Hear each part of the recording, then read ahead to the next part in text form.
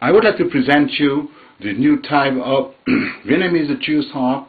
It has the three lamellas in one instrument and the sound is very deep. You can hear the um, what do you call that? The register of the instrument, the range.